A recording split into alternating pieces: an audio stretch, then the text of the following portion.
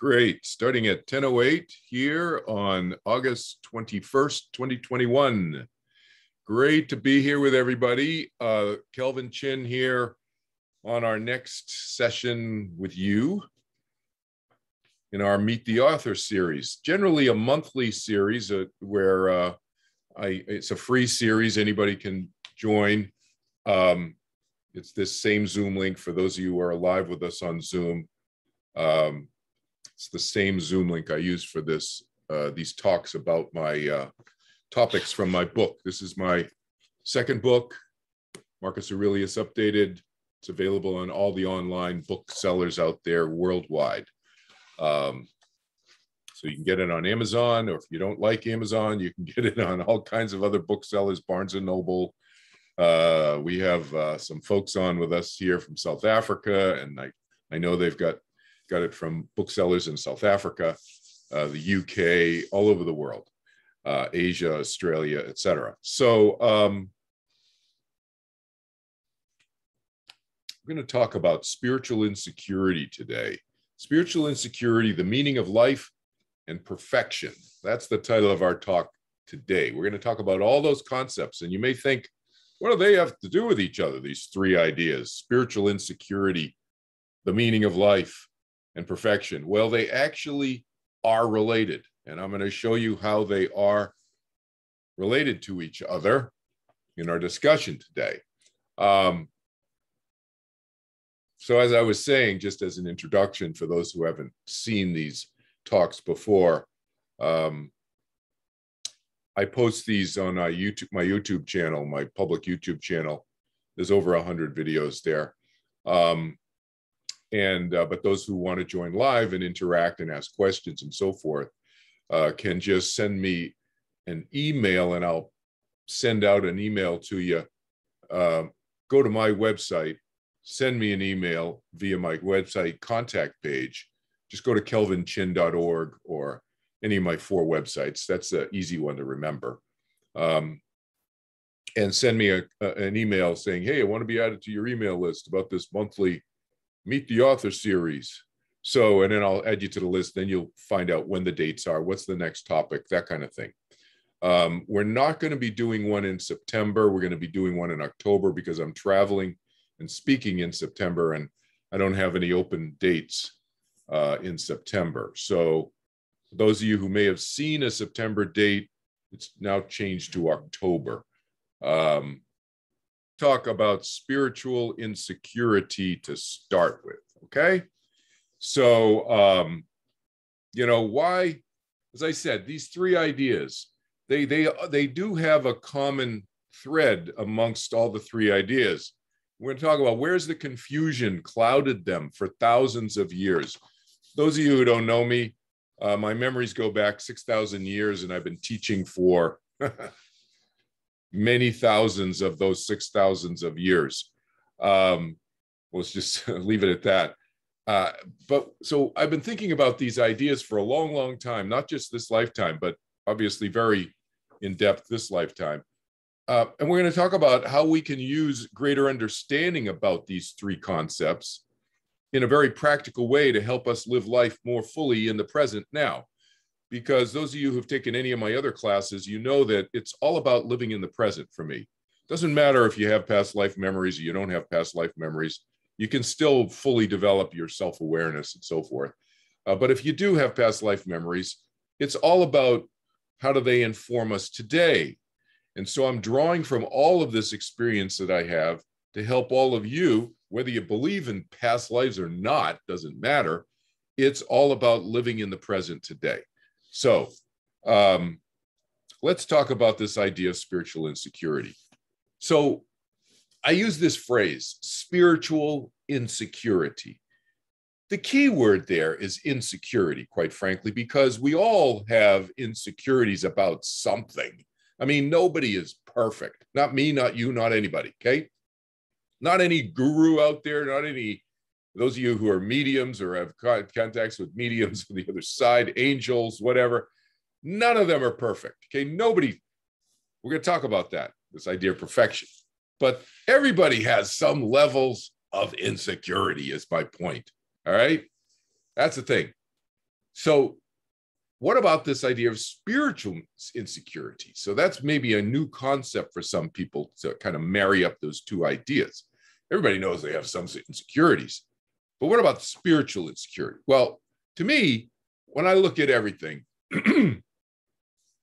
I can talk about things in terms of, oh, spiritual, more spiritual, less spiritual. We can talk about gradations of spirituality if you want. But to me, life is about living life and and and spirituality to me is just really about how we live our lives now yes we can talk about things that are that may seem to be in our cultural lexicon in our word usage in other words um, you know more spiritually oriented. But really basically what does it all distill down to as i said is it really the basis is our low self-confidence. Everybody we have insecurities about this and that da, da, da, but really, the more, the, the lower our self confidence, the higher our need for external confirmation that we're okay. Just to use really lay person, everyday language, that's what really it distills down to.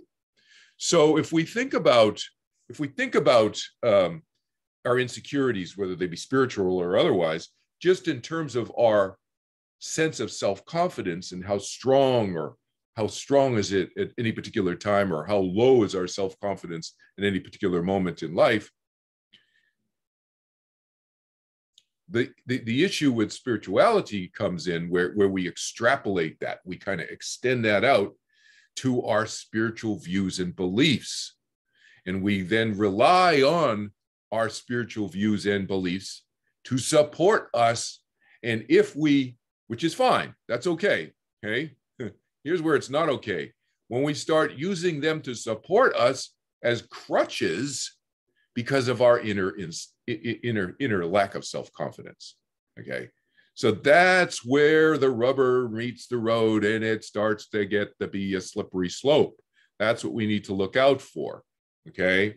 These are little teaching tips for you to help you look within yourself and how can you manage your own life a little bit better so that you can be happier i mean that's really what everything that i teach is all about okay so again are they crutches that that can support perhaps our inner lack of self-confidence in our own ability to manage our lives that's really kind of what it distills down to and then what's the result of that? We've all seen this happen, and maybe some of you have been through this in your own lives. You know, that the result is that we then believe in powers that are outside of ourselves. Powers like what? Well, drugs, alcohol. Well, you may not think of those as powers, but you're giving your power away to a drug.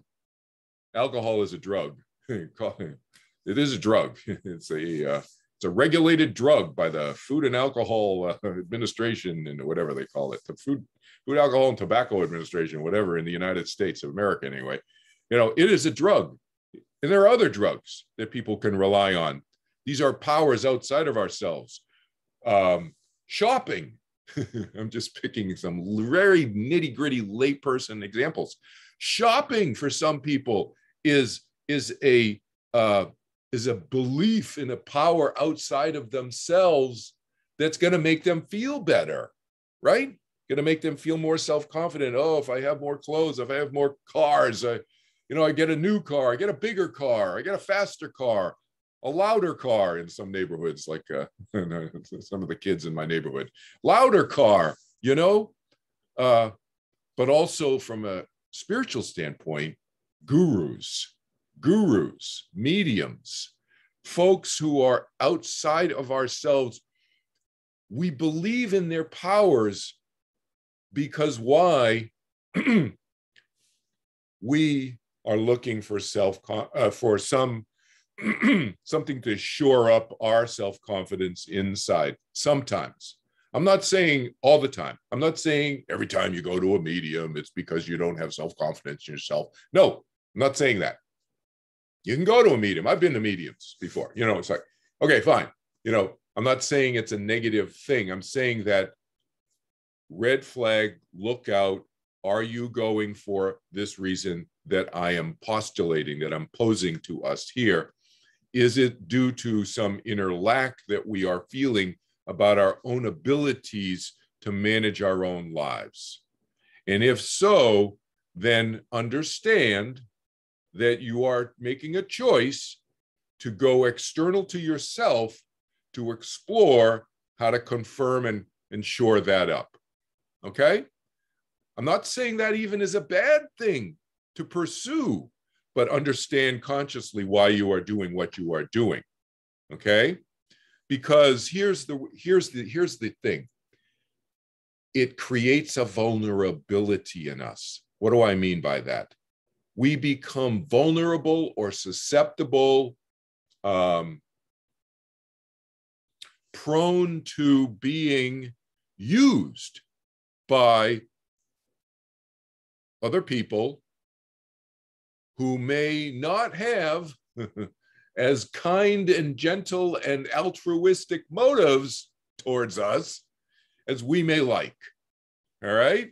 So, this kind of displacement needs to be done in a very conscious way Otherwise, you could be vulnerable unwittingly, okay? Unwittingly meaning what? Not consciously aware of being abused, either financially by somebody who's charging four, five, six hundred bucks, a thousand dollars uh, for um, you know a reading, a psychic reading, or a, a true story. True story. Um, I heard about one of my clients uh, who had a fear, a very, who had, had a very, very deep fear of death. And uh, I heard through the grapevine, we'll just say, I didn't hear directly from her, that she had previously um, gone to a gypsy in New York City who asked who demanded, who said, if you want my help, you got to pay me $80,000. Eight, we're talking $80,000 for one visit, okay? $80,000. I'm not exaggerating the number here. $80,000. And this woman collected all her, her jewelry that her, I guess, previously wealthy husband had bought for her and brought all the jewelry down to this gypsy in New York City. I've heard since then that the FBI is after many such people in the United States and they travel around and they stay at relatives' houses and so forth. So if you are anywhere in the world and if you heard this MO, this MO stands for modus operandi in Latin. This MO, this this style of uh, we'll call it business functioning, it's a big red flag, okay? But look at the spiritual insecurity of this person who brought this woman who brought $80,000 worth of her jewelry to these people for what? Not even for a psychic reading um, in person. It was bring me these $80,000 cash, had to be cash. She gave them the jewelry, so they accepted the jewelry, of course. Um, but it was for candles. It was for sacred candles that these gypsies were going to light and and they told her that each candle would cost i think it was two throughout two thousand or four thousand dollars for each candle. And so they got to do the math whatever the math is. They, they they had to light this many candles in order for, for you to get over your fears. And we will light these candles for you. Did this person even see the candles? No. How do you know they even bought candles? They don't. They just take your money.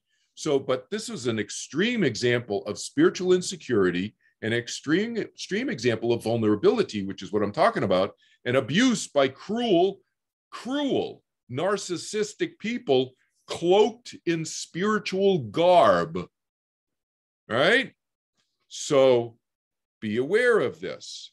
Don't be don't fall prey to this.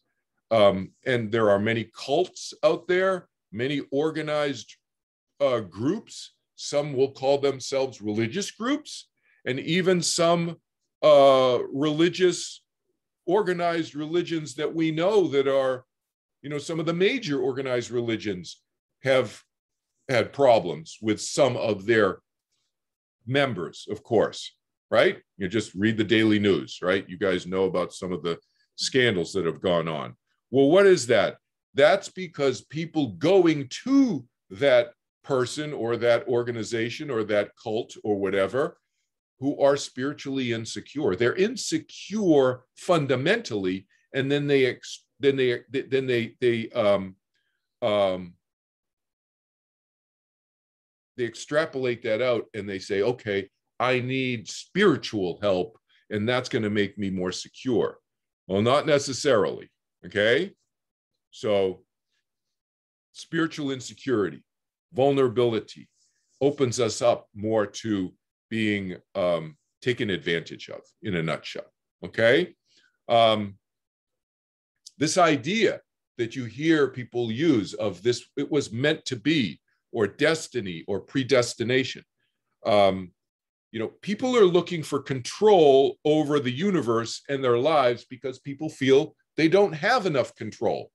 And very often, when people are very insecure or um, highly anxious, puts high anxiety puts us into a state of feeling insecure.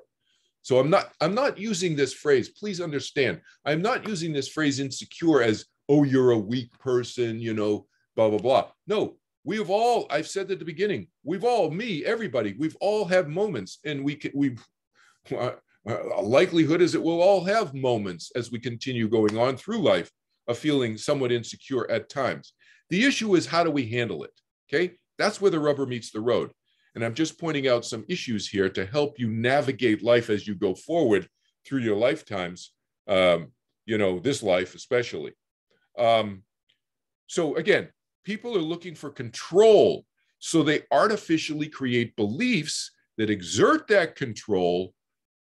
They think that's going to exert that control, but are those beliefs fact based and based on reality? That's the issue.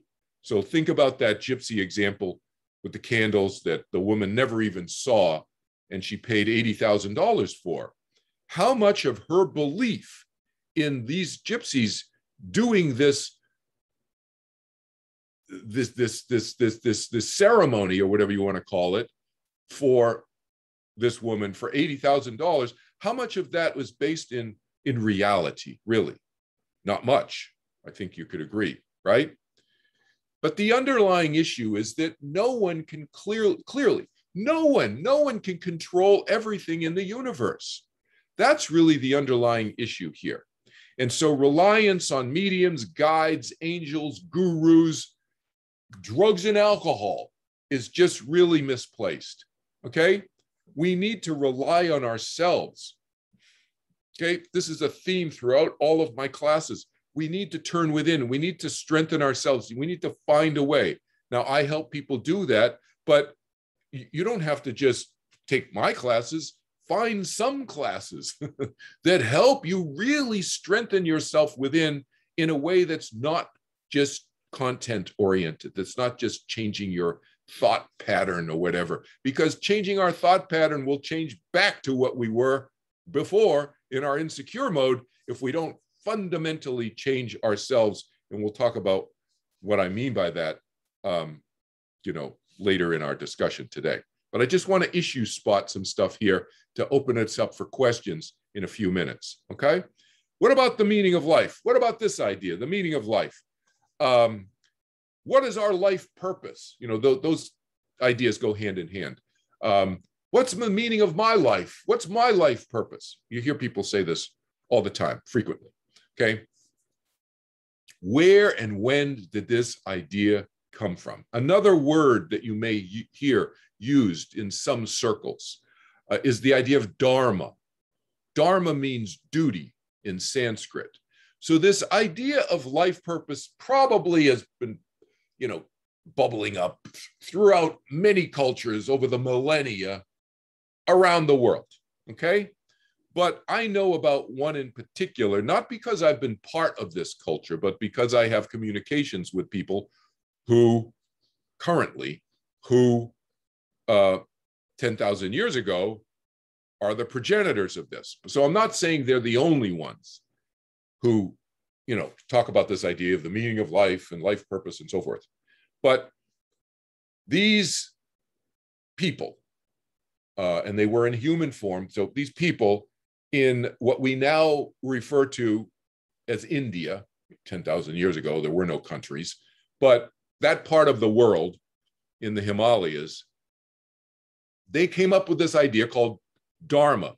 So again, in this ancient language of Sanskrit, the word is Dharma, D H A R M A. And it just simply means duty. But why did they come up with it? They came up with it, according to uh, our discussions with them. Uh, those of you who've seen the 30th November talk, there's a brief mention and talk about this. George talks about this briefly. Um, but we've all had, there are a number of us have had communications with it. There's many of us, and many of um, I'm not the only one. George isn't the only one for communications with these folks that I briefly mentioned, alluded to a second ago. Um, there are many dozens of people and and uh, who I don't know, but who have communicated with me, who have had similar communications with this with these folks. Um, and they came up with this idea because they saw that humans were lazy. That's what they say. They're just the human laziness factor. People you know, this is 10,000 years ago, okay? Um, looking at hum- looking at planet Earth, looking at around planet Earth, and people pretty much involved in not too many activities other than eating, sleeping, killing each other, and procreating. That was pretty much it in a nutshell. And so they said, well, how can we get these humans moving along a little bit here and thinking about something other than those three or four or five things. Something that may help them, you know, develop a civilization, some sort of culture, some sort of thinking. And they came up with this idea of dharma, duty. The idea of you should have a role in life you should have a job. we now know as jobs. Little did they know at the time, they didn't know about money and greed. Little did they know that just uh, planting a little idea about greed and money would have gotten people really moving really fast. But instead, they came up with this idea of Dharma. They're, they're like way too high thinking. it's like, you know, you know, sometimes people are like, they think too high. That's why I try to bring things down to layperson language you know, without all this airy fairy talk. No, we could bring it down to layperson's language if you really understand the principles. Well, they were just, you know, they were experimenting. Okay. So they said, okay, you're going to go down there.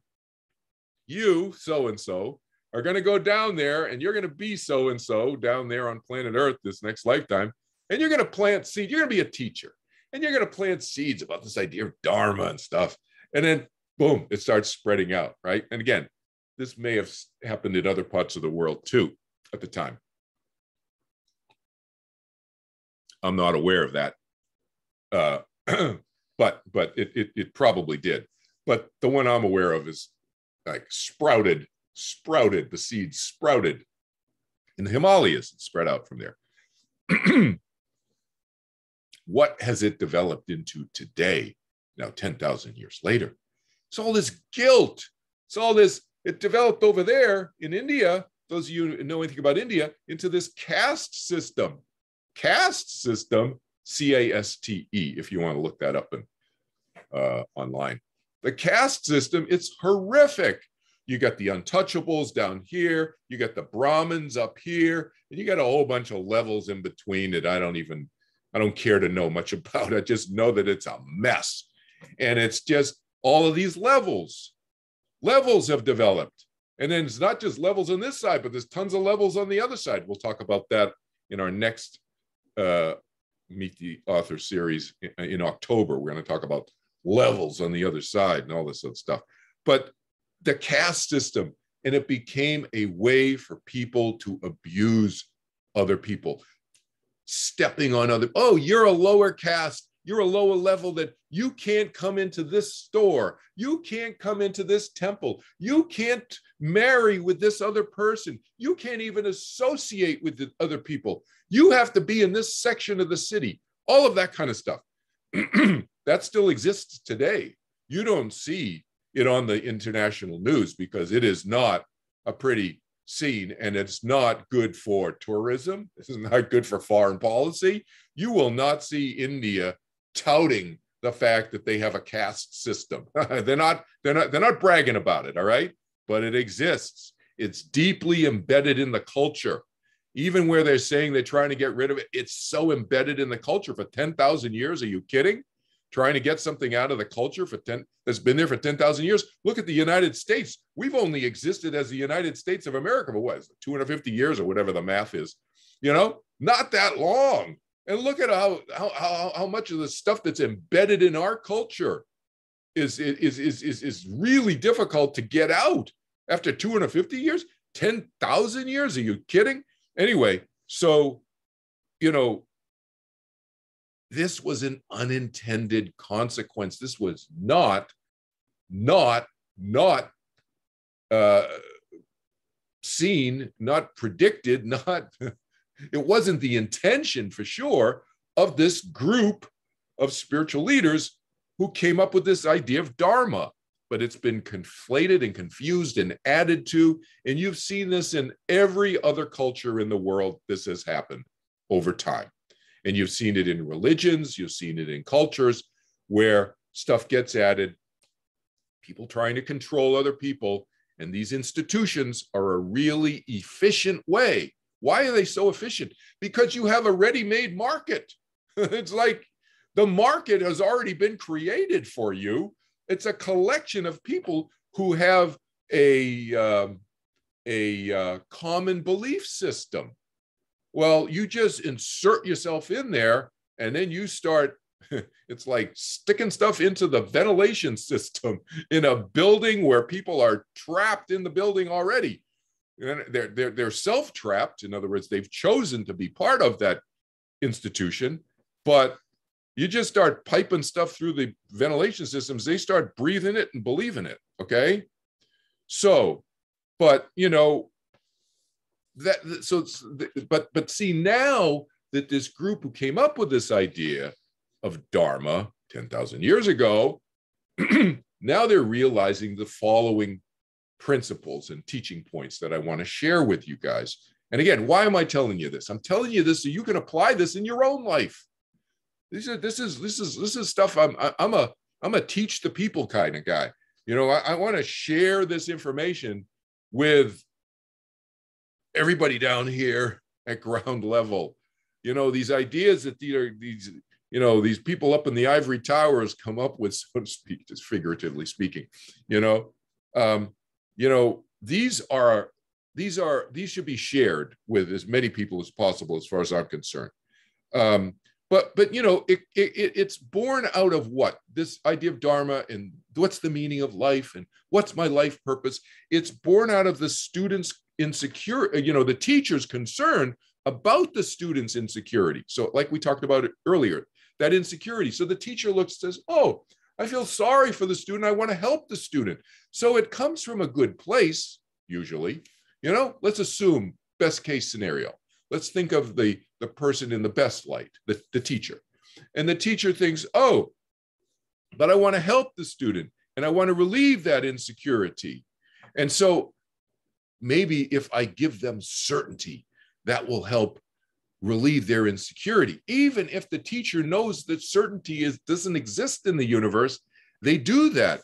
Now, it now what does it do? It it, it keeps the it, it of course immediately relieves the student of their their concerns, their fears, but it's temporary. That's the problem with it but it also another problem. So there are ancillary problems that are very much more significant than even the than the than the lack of than the immediacy and the lack of permanence of the solution. And that's that it keeps the seeker motivated along the path and locked into that teacher. It keeps the teacher dependent. I mean, no, the student dependent on the teacher. And those of you who have taken my classes, you heard me say I'm the opposite guy. I want to make you independent. I want to teach you guys how to think differently and filter from different perspectives. So now I'm always here to help you. And you can always reach out to me. And Don't be that person who thinks, oh, Kelvin's too busy. He doesn't have time for my question. No, that's what I'm here for. Ask me the questions. But my objective is to help you be a free thinker on your own, not be reliant on a, a, a you know a guru or an angel or a medium or a spirit guide or any of those. All right, because you displace your power to them. All right, makes you locked into them, whoever the them is. But in the guru example, and again, you can plug in any of those others into this guru blank, fill in the blank it serves the guru's self-interest by getting by getting and keeping the seeker we'll call the student a seeker a seeker of knowledge okay may have very very good intentions but it keeps the seeker locked in to the guru and that meets the guru's self-interest but does it serve the student's self-interest your self-interest as a student you need to ask yourself that question all the time teaching point, teaching point. Okay. All right. What's the solution instead? The solution is being comfortable with the unknown. That's what gets rid of our, our fear, our concern of uncertainty, because uncertainty exists in the universe. That's what I help people do. Get, un, get comfortable with the unknown. Where does that start? you know, get comfortable with the whole universe and the universe and the unknown of the universe starts with ourselves, getting comfortable within ourselves first. As we get more comfortable within ourselves, we get more comfortable with our spouse, our friends, the unknown stuff that they may do. And we get more comfortable as it extends out, eventually, with everything in the universe. Okay that may come at us in an unknown, unpredicted, uh, is that a word? Uh, unpredictable way. All right. But it starts within ourselves, turning within, getting comfortable with ourselves. That's where the rubber meets the road. That's where people tend not to go. All right.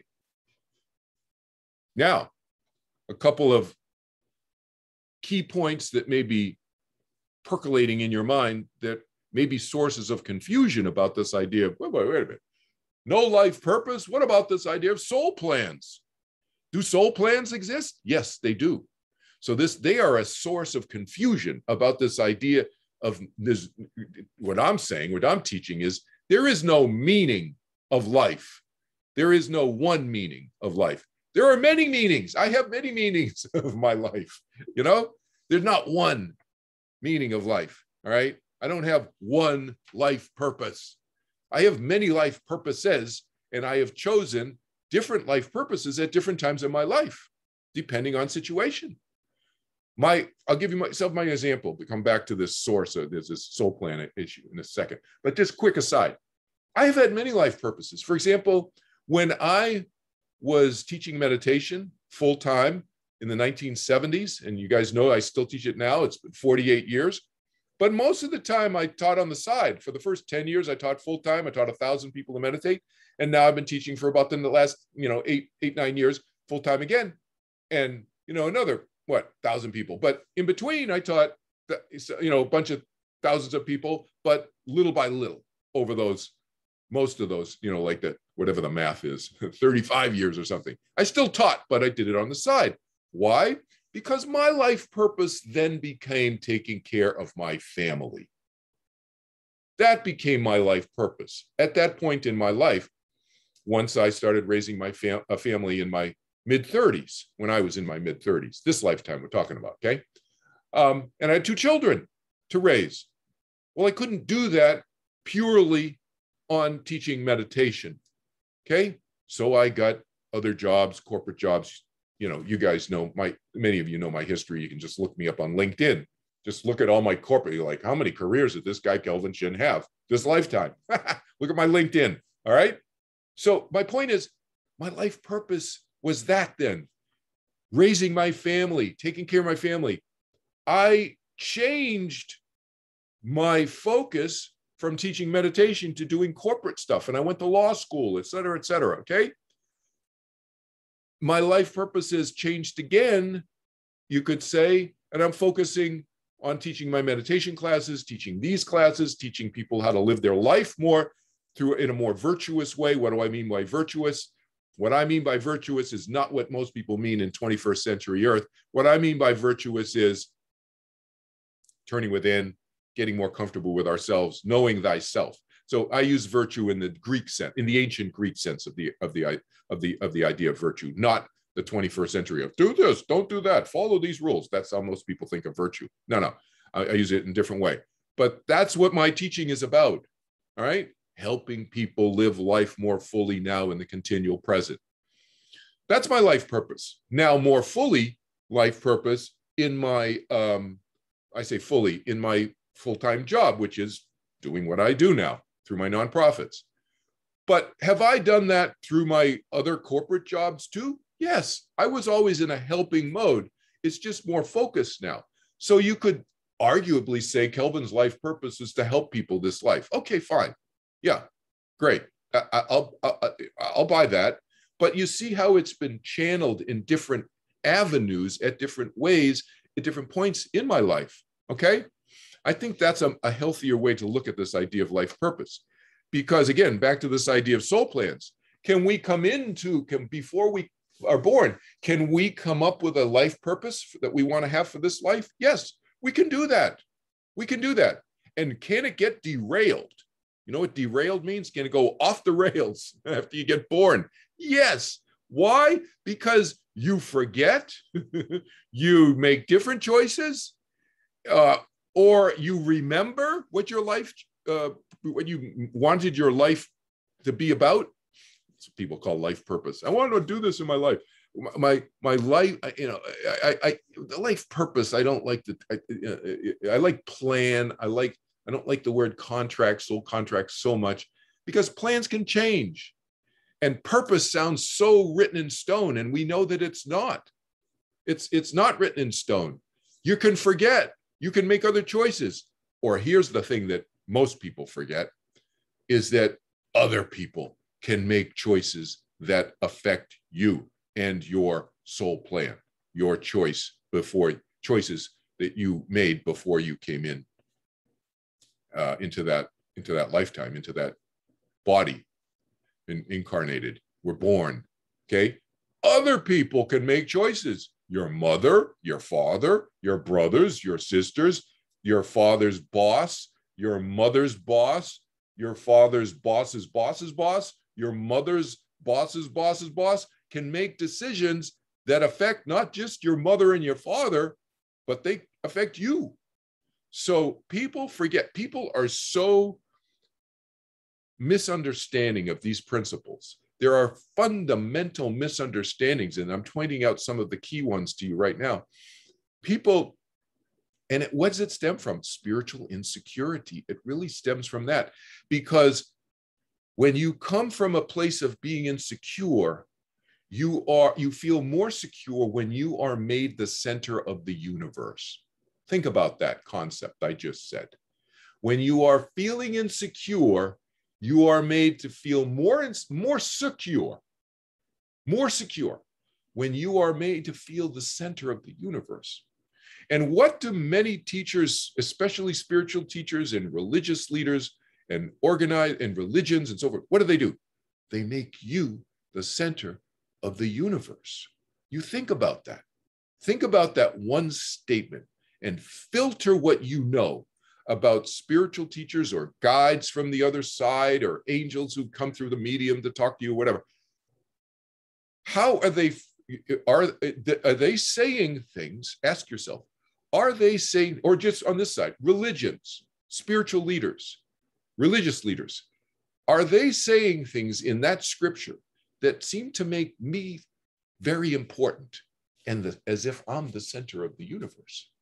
Okay, that's a red flag because you're not the center of the universe. You are the center of your universe. Yes, that's my essays in this, my book here, my book about self interest. Yes, of course, we are the center of our own universe, but are we the center of the universe? Universe? No. there's all these other minds making decisions and so forth. They're the center of their own universe. We are a universe of many, many, many. It's trillions is too small a number you know, but we'll just use trillions because it's big enough number for probably most of you to get your mind around. It. Can't even get your mind around trillion. What's a trillion? You know, so I think a trillion is a million million, right? So it's like, what does that mean?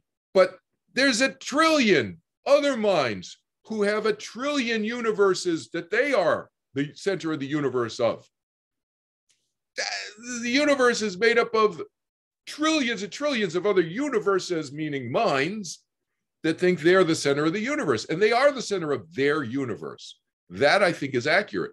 And we should be self interested in looking out for ourselves, not to an extreme extent, because if you read that essay in my book, that's selfishness. And we talked about that in our uh, earlier talk, find it on YouTube, on uh, love and unconditional love. We talked about this idea of being selfish.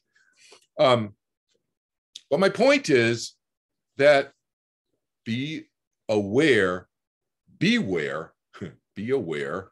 That's where beware comes from.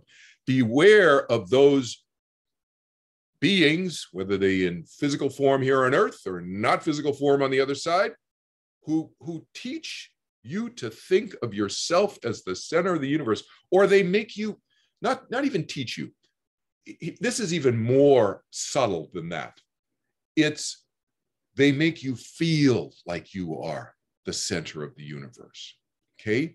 Because feeling em- emotions is a very, very subtle and slippery way to influence you. That's what sales is all about. Those of you who have ever been in sales before, I sold life insurance before I went to law school. And one of the key sales, this is sales 101. Any sales training you've ever taken for any selling anything. Doesn't matter. Sell software, sell medical supplies, sell life insurance like I did, sell cars, sell whatever.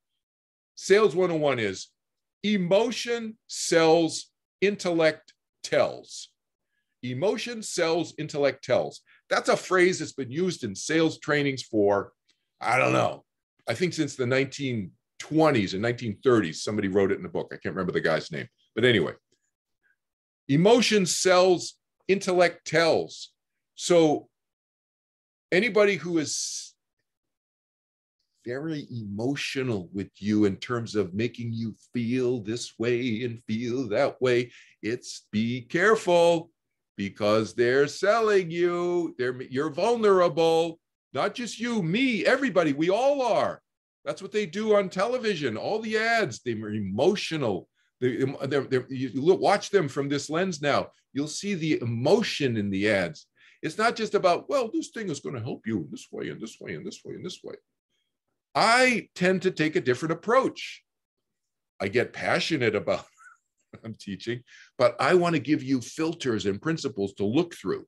So some of you, you know, for some people, what I, the way I teach is very boring. It doesn't, it's not this inspirational, oh, I walk away, I felt so amazing, walked out of the ballroom and blah, blah, blah. Red flag. Okay. You are vulnerable to whoever is making you feel that way. All right. I'm not saying it's bad. I'm saying watch out. That's all. Okay. Because they may, can, may be able to do that and be very loving and giving and kind and give you valuable information. That's ideal. Okay. That's the ideal mix. But be careful. Okay. That's all. Um, so, can we make plans? Yes, we can make plans, but they're change changeable, just like I said. Okay, you've connected the dots hopefully by now. Free will affects those plans that we can come in with with a, a purpose in our life. Not just our free will, the trillions of other minds making their free will, their free will choices. So there's no one life purpose. That's the summary on this point. We make choices and others make choices that affect us. All right, let's touch on this idea of perfection and then we'll close it up and open up for questions in a minute. Perfection. What about this idea of perfection? This idea of enlightenment. You've heard that term. I'm going to read some passages from my book here. Okay, and um, those of you who have the book, you can read along with me. I'm on uh, page 260, 260 on my book. Um, what about this idea of perfection? This is the idea. Uh, the essay is starts on page 259, and it's called "Unbundling Enlightenment." Unbundling this idea of enlightenment. You know, first of all, let me just say one thing. I talk about this on page 259, but let me just say one thing.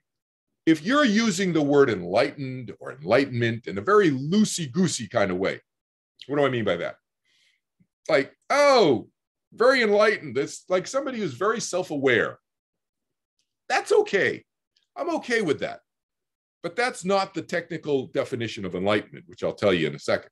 Okay, so if you're using it very loosey goosey that way, you know, oh, uh, you know, we should know ourselves better. We should be more enlightened that way.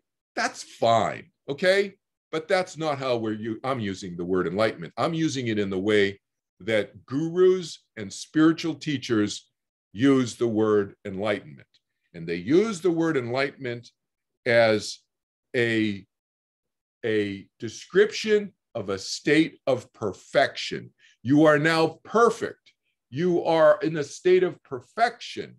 That's what they say, they, they mean when they say enlightened. Okay. Another phrase acting in accordance with the laws of nature. That's a phrase that's commonly used. All your actions will be spontaneously right you cannot make a mistake if you are enlightened. All right. That's the thinking. All right. Right action. You cannot make a mistake. But what does enlightenment also mean then? If you can never make a mistake, you can never grow anymore. That's what that means. So, in that sense, and they really do mean that, that you've grown as far as you can grow because you are perfect. How can you grow anymore from being perfect? That's what perfect means. there is no like more perfect. There's no such thing as more perfect.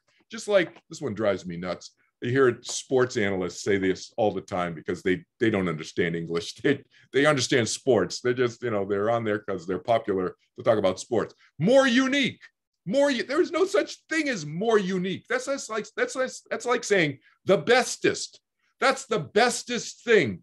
Have you ever heard anybody say bestest? There's no such thing as bestest. The most best. There's no such thing. Best means best nothing better unique means unique nothing more unique than that that's what unique means perfection that's it Okay. You can't improve yourself. So, but here's the thing. So they will, they, they would agree with, you know, these, uh, these spiritual teachers who use the phrase enlightenment or uh, keep in mind, I'm talking about angels on the other side, spirit guides. They're, they're using this phrase too a lot. It's a misuse of the phrase. Okay. There's no such thing as perfection. Perfection means, think about it. Perfection means no more growth. No more growth means static, no change. Okay? No change means what? No change means you've merged with something. You've merged with some cosmic soup, I call it. Some people call it God, the universe, the source, the light, the absolute. People use different phrases. I say merge with cosmic soup. That's what people think. But the reality is, our individuality continues. Something about us continues. I talk about this in greater detail in my afterlife series classes, but you know, in session six, we'll get into that. Those of you who are taking that class, we haven't talked about it yet. Session six, I'll get into that in much greater detail.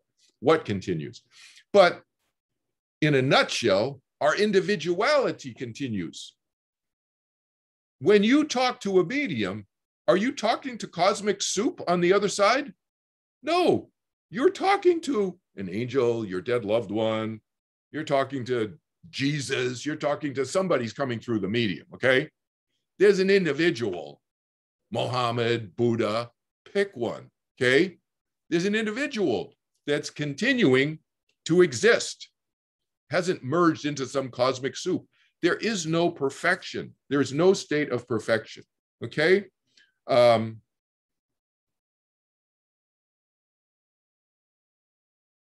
you've plateaued out is a phrase that I use somewhere in, in on page 260, I guess. We've plateaued out. Um, but there's no need for improvement. And it's very appealing to the seeker who is insecure. You see how these are all tying together, these three concepts that we talk about in the title of this talk. The seeker who is insecure seeks perfection because they think that finally, finally, everything will be fine. Everything will be good. All right. What I'm teaching is that everything can be content, maybe not absolutely perfect, but you can be content. To me, that's the state that I would call a state of perfection, but not in the way that most spiritual teachers talk about perfection. A state of contentment, inner peace. All right. Not a state of literal perfection where you cannot make a mistake ever. That's the way most spiritual teachers, including angels on the other side, use this idea of enlightenment and perfection. And they may or may not say that to you, but that's what they mean because they have believed this. They've they themselves are insecure, these angels and so forth, who are teaching this way. So they have bought into this whole belief system, and therefore they think, again, because to help you with your insecurity, to make you feel more secure, they'll give you this, this perspective, which I'm saying is actually not correct and worse than not correct can lead to suffering. So, because what does it do? On uh, it puts us in a place where we are beyond the imagination horizon. I use this idea on page 260 in the book. Beyond the imagination horizon. We are not in the present. We're always trying to live so that we can be enlightened. We do everything so that we can be enlightened instead of spending time with your family. I know people in this, you know, the organization that I used to be involved in, in the 1970s, people who have literally, not even figuratively, some people have just figuratively emotionally divorced themselves from their families. Some have literally divorced themselves from their families to seek enlightenment. No, this is about living our lives now in the continual present. That's what life is and should be about. This notion of enlightenment is a con, is is in conf- conflict. So if you have any spiritual teachers out there you've read, you've seen on YouTube, been to workshops where they talk about enlightenment and living in the present, they are they are teaching cognitively dissonantly. Their their teachings are not consistent. So they're living beyond the imagination horizon. they're teaching you to be uh, beyond the imagination horizon. Oh, enlightenment, enlightenment, enlightenment. Be in the present. You can't. You can't. The, the two don't go together. All right. This idea of perfection and being in the present when you're not in state of perfection in the present, because nobody is. Okay. That's not living in the present. That's living in what we call the future, or I refer to as beyond the imagination horizon. Okay, that's what we call the future in layperson language. Okay, but it leads to suffering, which I talk about on page 261 here, because living in the non present also has a serious unintended consequence. It leads to continual suffering. The individual constantly is unhappy with their present situation, their present condition in life. They always seek something that is beyond their grasp, and this ensures an unhappy life. All right?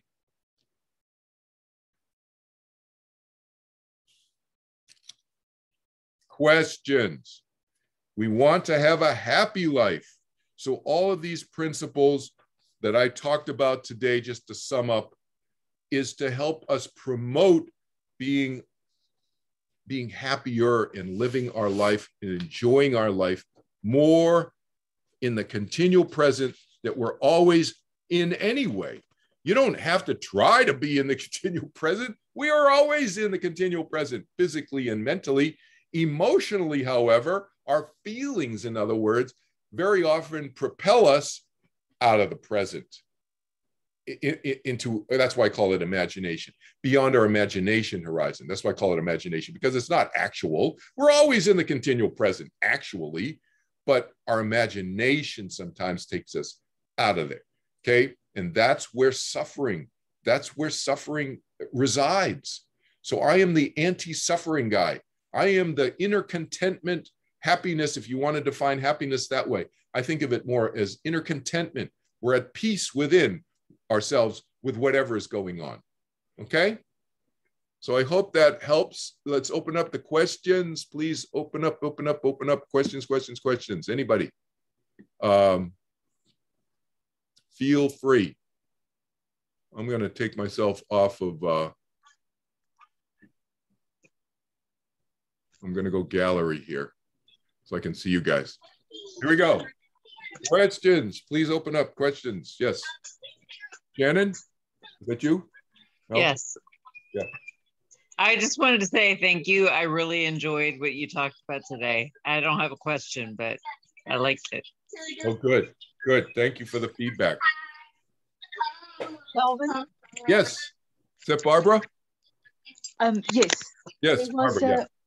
There was a, a, a one stage um, that somebody asked me about the meaning of life. Uh-huh. And I said, look, um, I can only answer from the way I see it. For me, the meaning of life for me is to be happy. So if I know myself and I know what makes me happy, and I can pursue the things that make me happy, then to me, that is the big overall purpose of my life, the umbrella. But I love the way that you, uh, you know, broke it down um, in in different uh, uh, parts of you know purposes that you have in different stages of your life. And while you were talking, I was actually making a list, and um, the one purpose that I wrote down at the top was grow up. And um, when I wrote it down, I realized um, how important it was for me at some stage to grow up emotionally.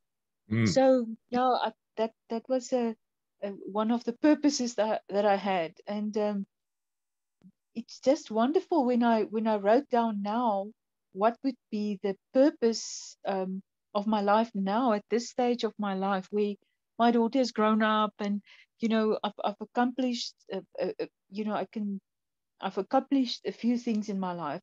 How do I see this this last uh, big stretch? You know where I want to finish strong and I wrote down here that um, it, it's my purpose in life now to get others to live with deeper meaning and be happier because I know how what it means to me to be happy. So then I can can guide others and say, let's all be happier together. Great. Thank you so much for sharing that, Barbara. That's great. That that exactly. So you you've probably seen those of you who have my book I, I talk about what I think in terms of the meaning of life or how how to view life, and I and I view it similarly to you. You know, it, it life is about being happy and content and figuring things out, and, and that's the way I view life. How other people view life may be very different from me, and it's not my job. It's not my not never mind my job, never my responsibility, and it's not my right. It's I don't have a right to determine what how other people uh, view their lives and how they want to live their lives and and how they interpret their lives that's up to each of us.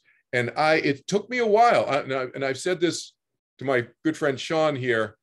The i think yesterday did i say this to you? The day before yesterday sean. I said you know i gave up uh into your use your word barbara. I grew up. I grew up. And I um, I got over my Messiah complex. I called it jokingly, but seriously, called my Messiah complex, which is, you know, save the world, help, you know, save other people. You can't save anybody.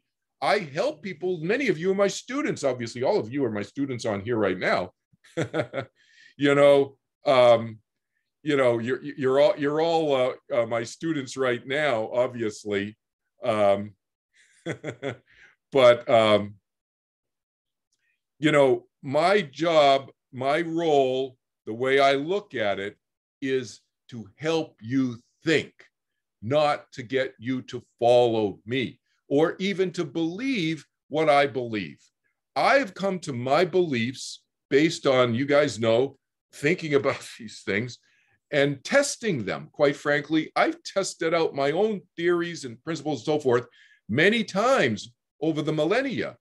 So, um, you know, but but you have to do that yourself. Yes, I can inspire you, hopefully, to do that on your own, and maybe my examples will help give you some data points and way to filter and to look at different things. Maybe maybe my perspectives can do that but it's not to get you to believe what i believe. It's to get you to think in a way that's uh, your way your way that's going to work for you sharon great to see you um, thank you for joining um, and so uh, this is you know contentment inner peace to me that's the meaning of life and we take other different aspects and avenues, as I exampled earlier, um, at different points in our lives. Think about it this way also. Let's say you are on the other side and you are creating a soul plan for yourself. How simplistic would you be to think that I'm going to go down and I'm going to be president of the United States? Okay, whatever. Okay, you could you have that thought? Maybe somebody did have that thought. Maybe they did become president of the United States probably 99% of the people who had that thought did not become president of the United States. So, but, but the thing is, could you have that thought? Yes. Would it be, uh, what, what kind of person would have that as the only thought that they could have out of the millions of thoughts and the millions of things that you could, that you could craft and create as part of your soul plan on the other side? Why would you just pick one or two things? Why wouldn't you have a, a, a kind of a, a tapestry? Think about it that way a tapestry, a beautiful painting of your of what you would like your life to look like that's not just throw the blue color on the on the paint on on the on on, on the uh, canvas you know i'm going to be blue this lifetime well why, why why why do you just be blue this lifetime why why don't you just be could be blue with some teal and some beige and some this and that. Wouldn't you do that? What kind of mind would be so simplistic, is my point. You know, and yet, so if you think about it that way, and yet, so many mediums, so many people, so many angels on the other side are telling human beings through their through their sessions you had one purpose you have one purpose and this is your okay, maybe maybe you are that one person who just thought, I want to be president of the United States and I want to be blue. Okay. Or I want to be red. I want to be purple. I want to be green. I want to be, you know, whatever, one color person. but that that's that that's not a very complex mind to me. All right. That's just all I'm saying. So very good. Thank you so much for sharing that, Barbara. Anybody else? I want to make another comment on something that Barbara said. Anybody other questions or comments before I make another comment on my own? Sean, anybody? Christina? No? Michaela, great to see you. John. Um, oh, very good. Good, good. Great. So uh, another comment, and it's not a direct comment. It's kind of an oblique or a side comment on something that Barbara reminded me of. And she said that she wants to help other people, which is what I do. It's a great thing to do to help other people. But here's the thing, and I just, um, it's a little suggestion. What's a strong suggestion? I actually wrote an essay on this point, which I'm not going to get into in great detail with you right now. I'm going to publish this essay sometime in the next 24 to 48 hours on my website. And um, you go to kelvinchin.org and go to the blog page on kelvinchin.org. This is where I'm going to post this one.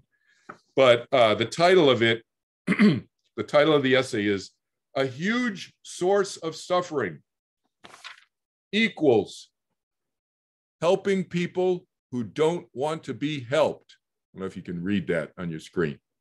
Helping people who don't want to be helped. That's a huge source of suffering. And it's part of the big, part of one of the big messages. There are many messages in the 30th November talk, but it's one of the large, big messages of the 30th November talk that was shared in 2014, as you guys may know, in um, Alexandria, Virginia, the event that I organized. You can, if you don't know about that, you can go watch it at 30thnovember.com. 30th November. You got to put the TH after the 30. So 30th November.com. but let me just read you one paragraph. And I kind of alluded to this, but I didn't weave it in with this idea of helping people who don't want to be helped, as I do here in this essay.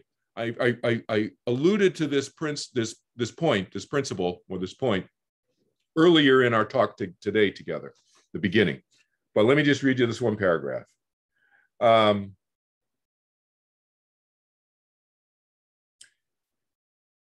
the 30th November message that was shared in 2014, it was a marker in the spiritual history of humankind to make clear that key spiritual leaders involved in the world and planet Earth for the past 10,000 years had decided that they too, rec- they too, they also recognized that overhelping causes suffering, overhelping, that by demanding obedience from their followers, they inadvertently cause those devout followers to be more susceptible to being bullied by others, others who didn't have the kind motives that these spiritual leaders had. These spiritual leaders, meaning the ones from 10, that over the last 10,000 years that um, were helping have been helping humankind. In effect, by demanding spiritual obedience, these leaders had unwittingly trained their followers to become more compliant, more passive, and unfortunately, more vulnerable to being taken advantage of by selfish and narcissistic people in the world. Ironically, the more devout the follower, the more obedient they were, yet the more vulnerable they became to mistreatment by others. So that's just a, a few short paragraphs from this longer essay. But think about that. Think about that. How devout following. I was thinking, I didn't put this, I didn't put this point in the essay, um, but I'll share it with you now. Think about this point how devout following, whether through spiritual uh, groups or organized, what we know as organized religions in the Judeo Christian Islamic religions, how devout following actually promotes authoritarian thought. It promotes authoritarian belief and therefore following authoritarian leaders, totalitarian leaders. It's intimately connected. That's a fundamental reason. They didn't talk about this in the 30th November talk. I've extrapolated this and extracted this, extracted that, that idea and then extrapolated it to our current 21st century political climate but it is directly, it's a direct cause.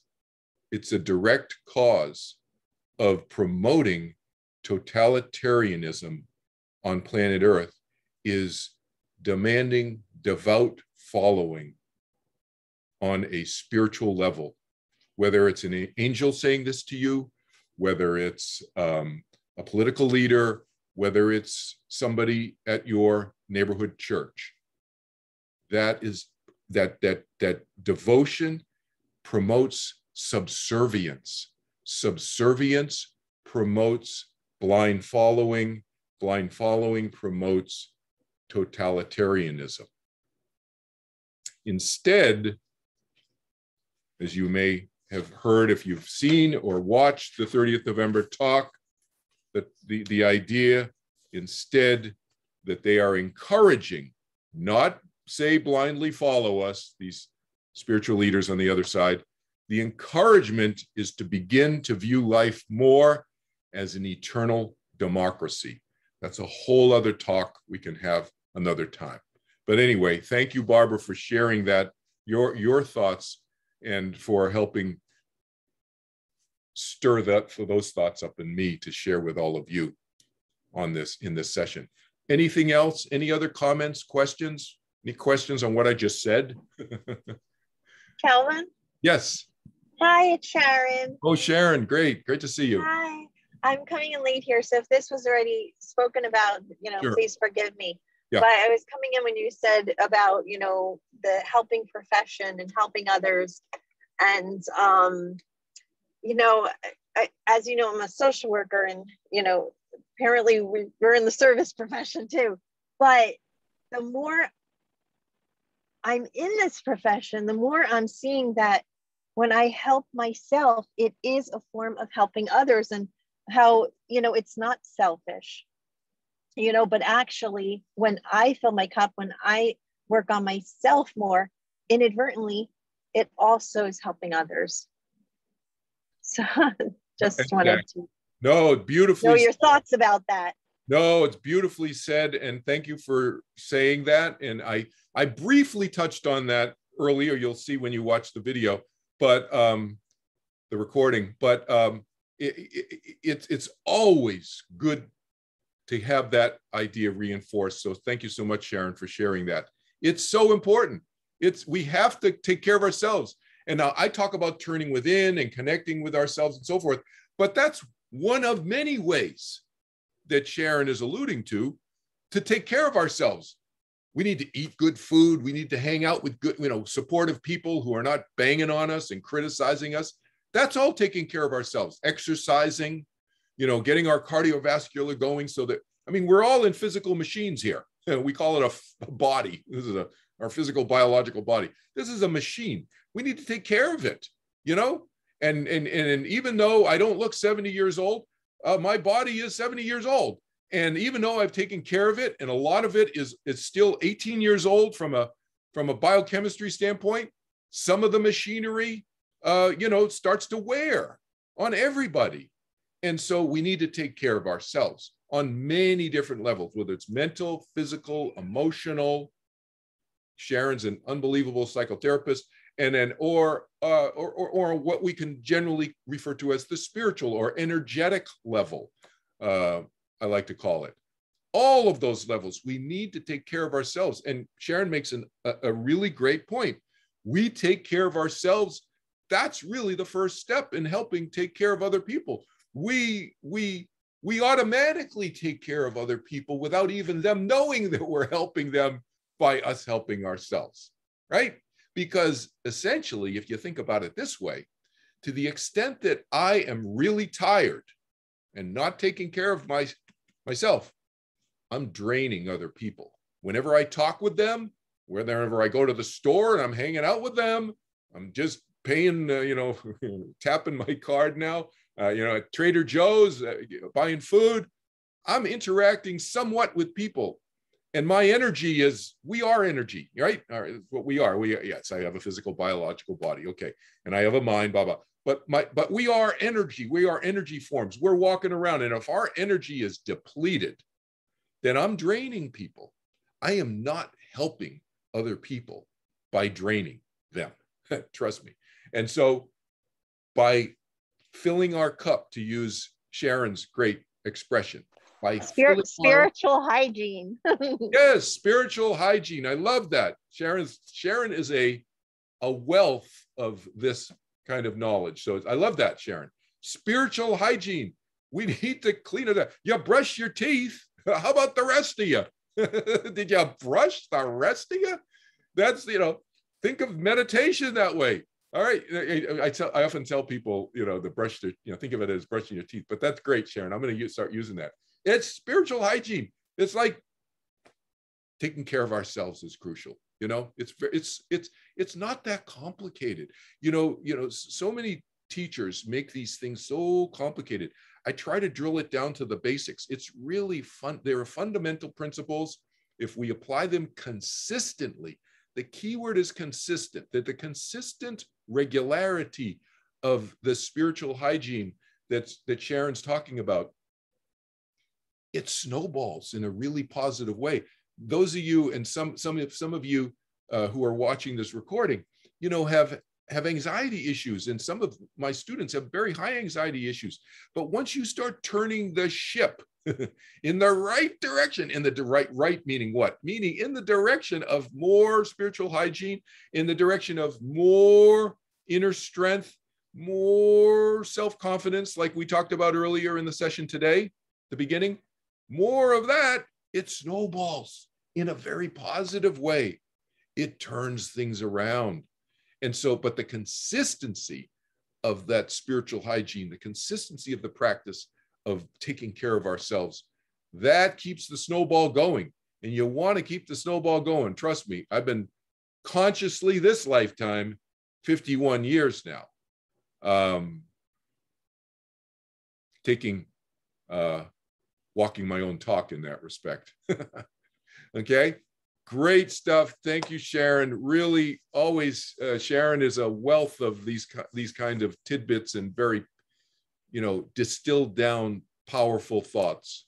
Thank you so much. Um, anything else before we call it a session? Anybody else? Good, good, good. Well, thank you so much. Um, and uh, we'll see you next time. Next time. Um, next time, and I, as I said, just a heads up, um, next time will be in October. And um, in the email that you'll get, it has the dates. Um, but the next session, I think, is October. Uh, if you give me a sec, I'll just put it on the recording right now let's see. Um, let's see. It's um,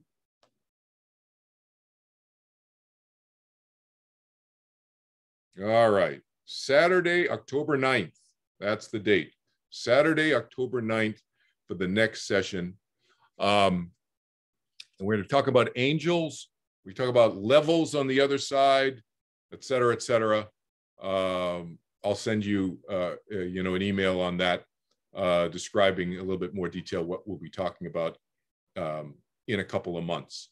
Um, and again, those of you watching the recording, if you're not on my email list, just find me at kelvinchin.org and go to the contact page and send me your email address and I'll add you to the list. Okay. Great to see everybody. Take care now. Thank you, Kelvin. Bye. You're welcome. Very welcome.